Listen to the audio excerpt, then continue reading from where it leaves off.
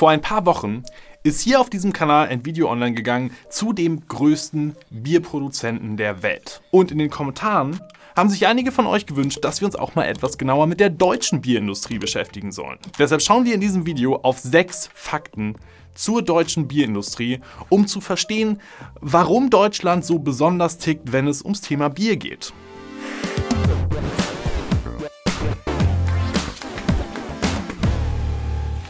Hallo und herzlich willkommen zu Wahn und Sinn. Mein Name ist Johannes und hier auf dem Kanal geht es um Wirtschaft und darum, was die mit uns zu tun hat. Wenn ihr das spannend findet, dann abonniert auf jeden Fall den Kanal und aktiviert die kleine Glocke für Benachrichtigungen. Fakt Nummer 1. Das Reinheitsgebot. In Deutschland wird nicht einfach so Bier gebraut. Nein, hier wird seit 500 Jahren nach dem deutschen Reinheitsgebot gebraut. Das ist zumindest die Geschichte, die ihr alle bestimmt schon mal gehört habt und die uns in der Werbung rauf und runter erzählt wird. Tatsächlich wurde im Jahr 1516 die erste Verordnung in Bayern erlassen, die genau geregelt hat, was in Bier drin sein darf, nämlich Wasser, Hopfen und Malz und Hefe. Aber das stand nicht in der Verordnung, das war einfach stillschweigend mit gemeint, weil war halt so. Dabei ging es natürlich einerseits darum, dass eine einheitliche Bierqualität gewährleistet werden sollte. Andererseits kann aber auch eine Rolle gespielt haben, dass man andere bewusstseinsverändernde Substanzen aus dem Bier draußen halten wollte und dass der Export für Bier aus Norddeutschland nach Bayern erschwert werden sollte. Inzwischen wird vom Brauerbund, also der Lobbyorganisation der Brauereien, gerne so getan, als ob dieses Gesetz seitdem 500 Jahre straight durchgängig gegolten hätte. Aber das stimmt so nicht. Vielmehr gab es im Laufe der Zeit immer wieder neue Verordnungen und Bestimmungen, die geregelt haben, was in Bier drin zu sein hat und was eben nicht. Erst in den 60er Jahren wurde dann aus diesem bayerischen Reinheitsgebot ein deutsches Reinheitsgebot. Und zwar, um sich damit vor der europäischen Konkurrenz zu schützen. Und inzwischen regelt in Deutschland sogar eine eigene gesetzliche Verordnung, was als Bier bezeichnet werden darf und was nicht. Und ich finde, damit kann man sagen, dass Deutschland wirklich ein sehr besonderes Land ist. Zweitens, Konsum. Wie gerne in Deutschland Bier getrunken wird, das zeigt schon einen Blick auf die Zahlen. Im Jahr 2020 zum Beispiel wurde pro Kopf durchschnittlich knapp 95 Liter Bier konsumiert. Das wird noch erstaunlicher, wenn man sich klar macht, dass da ja auch all die Menschen drin sind, die überhaupt kein Bier trinken dürfen. Schwangere oder Menschen unter 16, die das bestimmt auch nie machen würden. Damit liegen wir in Europa auf einem soliden Platz 3 direkt nach Österreich und Tschechien. Wobei die Frage erlaubt sein darf, ob man darauf jetzt besonders stolz sein muss. In jedem Fall ist der Bierdurst in Deutschland aber rückläufig. In den 70er, 80er und auch noch 90er Jahren lagen die Durchschnittswerte pro Kopf pro Jahr bei über 140 Litern. Das heißt, jeder Mensch hat rechnerisch pro Tag ein gut gefülltes 03er getrunken. Drittens, Braustätten. Während die Menschen immer weniger Bier trinken, steigt die Anzahl der Braustätten, also der Orte, an denen Bier gebraut wird, immer weiter an. Zahlen vom Brauerbund zeigen, dass die Anzahl der Braustätten im Jahr 1995 noch bei 1300 lag, was jetzt auch nicht gerade wenig ist. Inzwischen liegt sie aber bei über 1500. Das liegt unter anderem daran, dass in den letzten Jahren immer mehr kleine unabhängige Brauereien gegründet wurden, sogenannte Mikrobrauereien. Diese Mikrobrauereien setzen sich häufig ganz bewusst von den großen Konzernen ab und experimentieren mit neuen Geschmacksrichtungen oft auch gar nicht unter dem Label deutsches Reinheitsgebot. Das darf man nämlich auch. Diese äh, ziemlich hohe Anzahl von Brauereien ist vermutlich auch einer der Gründe dafür, dass die Wachstumsstrategie von AB InBev, über die ich ja hier schon mal ein ganzes Video gemacht habe, nicht ewig gut gegangen ist. Denn in Deutschland ist das Bier eben nicht einfach nur ein Getränk oder ein Betäubungsmittel, sondern für viele Menschen auch sowas wie regionale Identität.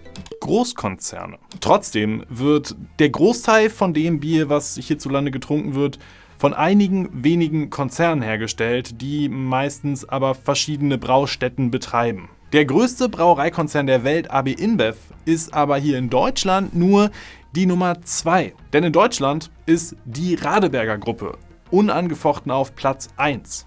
Zu diesem Unternehmen gehört nicht nur das namensgebende Radeberger Pilsner, sondern auch noch Berliner Kindle, Berliner Pilsner, Schultheiß, Brinkhoffs, Klausthaler, Schöfferhofer und viele, viele andere. An dritter Stelle in diesem Bierranking ist aktuell die Bitburger Gruppe, zu denen neben Bitburger auch noch Köstritzer, Licher, Wernesgrüner und eine Menge anderer Marken gehört. Aber diese drei großen Konzerne haben eine Sache gemeinsam. Der Bierabsatz, also die Menge an verkauftem Bier, geht von Jahr zu Jahr immer weiter zurück. Tatsächlich denkt AB InBev deshalb auch schon öffentlich darüber nach, die Deutschland-Sparte abzustoßen. Fünftens, Staatsbrauereien. Eine andere Besonderheit auf dem deutschen Biermarkt sind aber die Staatsbrauereien. Ja, das sind tatsächlich Brauereien, die dem Staat gehören. Und zwar komplett. Also irgendwie auch uns allen. Denn obwohl an verschiedenen Stellen im politischen Betrieb immer wieder behauptet wird, dass der Staat grundsätzlich ein schlechter Unternehmer ist, wird gerade im Biersektor regelmäßig bewiesen, dass das gar nicht stimmen muss. Die badische Staatsbrauerei Rothaus AG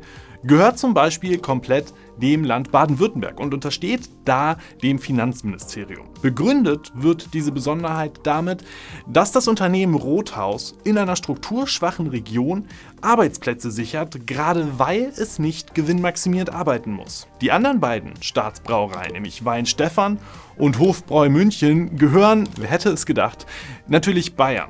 Die Brauerei Wein Stefan ist dabei offiziell Teil der Technischen Universität München, damit die Studis auch mal ihr in der Theorie erlerntes Wissen in der Praxis anwenden können. Deshalb ist für dieses Unternehmen auch das Bayerische Wissenschaftsministerium zuständig. Beim Hofbräuhaus wiederum ist das Bayerische Finanzministerium zuständig, was unter anderem für so Entscheidungen gesorgt hat, wie das in staatlichen Einrichtungen dieses Bier verkauft wird. Und ähm, deswegen fließt das Geld, was dieses Unternehmen erwirtschaftet, tatsächlich auch in den entsprechenden Haushalt. Besonders erstaunlich finde ich aber an der ganzen Geschichte, dass diese Unternehmen wirtschaftlich total gut dastehen und ihren Gewinn teilweise in den letzten Jahren sogar steigern konnten. Fakt Nummer 6. Bio-Bier. Der Anteil der Bio-Lebensmittel in Deutschland beträgt generell im Durchschnitt um die 5%. Tendenz glücklicherweise steigend. Aber wie gesagt, im Durchschnitt. Beim Bier sieht die ganze Sache nämlich ein bisschen anders aus. Tatsächlich liegt der Anteil von ökologisch hergestelltem Bier nämlich bei unter einem Prozent. Auf den ersten Blick ist das ziemlich verwunderlich. Denn bei einer Umfrage, die repräsentativ durchgeführt wurde und bei der gefragt wurde, welche Eigenschaften bei Bier besonders wichtig sind, war die Natürlichkeit direkt auf Platz 3 nach Geschmack und Aroma. Das heißt, Natürlichkeit ist den Menschen wichtig, aber sie kaufen kein Bio-Bier. Das passt irgendwie nicht so richtig zusammen. An der Stelle merkt man, dass das Marketing-Label Reinheitsgebot ganz besonders gut gezündet hat. Denn bei vielen Menschen geht im Kopf anscheinend sowas ab wie Reinheitsgebot ist gleich natürlich. Dabei ist ja in der Theorie total möglich, dass die Inhaltsstoffe von einem herkömmlichen Bier, was nach Reinheitsgebot gebraut wird, trotzdem mit Glyphosat gespritzt werden. Dazu sagt das Reinheitsgebot nämlich nichts. Allerdings lässt sich auch hier sowas wie ein Umdenken erkennen. Der Bio-Bier-Marktführer Neumärkter Lamsbräu zum Beispiel kann jedes Jahr steigende Verkaufszahlen vermelden, obwohl ja die Branche insgesamt jedes Jahr schrumpft. Das alles zeigt, der deutsche Biermarkt ist ein ganz besonderer Markt mit einer langen Tradition, mit kulturellen Eigenheiten und ja, auch mit dem deutschen Reinheitsgebot. Und inzwischen gibt es sogar eine Initiative, die aus dem deutschen Bier immaterielles Weltkulturerbe bei der UNESCO machen möchte. Das Erstaunliche ist, dass durch diese Besonderheit gegen den allgemeinen Markttrend ganz bestimmte Brauereien trotzdem profitieren. Und das sind die Biobrauereien, die Mikrobrauereien und auch die staatlichen Brauereien. Ganz ehrlich, das hat mich bei der Recherche zu diesem Video tatsächlich positiv überrascht. Und ähm, das gibt es auch oft genug andersrum. Von daher vielen, vielen Dank, dass ihr das unter das letzte Video geschrieben habt.